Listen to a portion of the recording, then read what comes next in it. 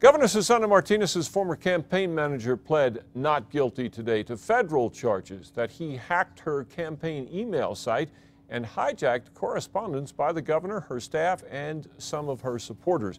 Jamie Estrada was released without bail after entering his plea in federal court in Albuquerque. He was Martinez's campaign manager for a time in 2009, but she says she fired him at the end of that year.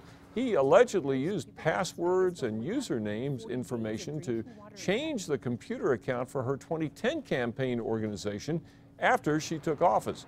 Estrada's attorney claims prosecutors have serious legal and factual problems with the case against his client.